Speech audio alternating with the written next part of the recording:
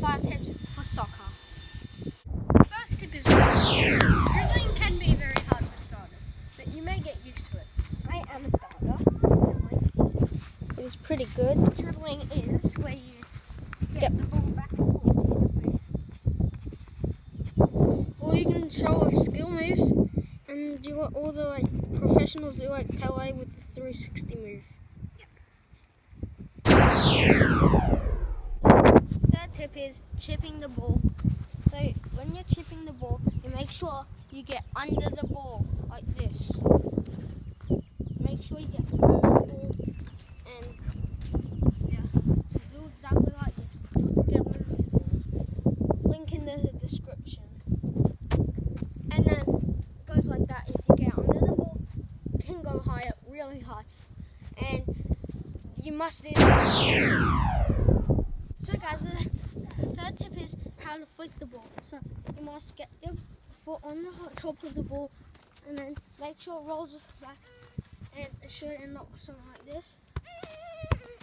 So like the chipping one, you must get under the ball as well. But as the ball rolls, it will come on your foot and then you will um, flick, flick the ball up and start jumping like this. Oh, sorry. sorry, cameraman. So like this. Should end up with something like this.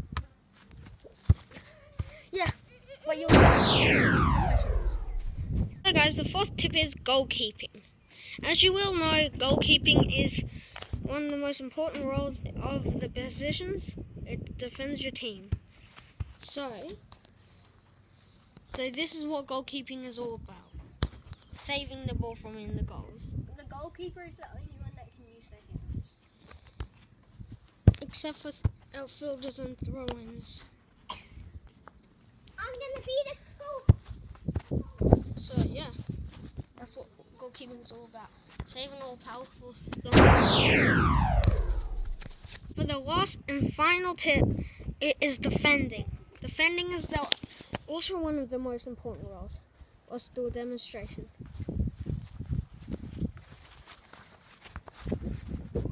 And they come clear the ball, and then they hope for the best. Guys, that's the video there. Hope you enjoyed. Like, subscribe. The ball I said earlier is in the description. Yeah. Subscribe, like the bell, and have a great day. Yeah. Hope you to watch.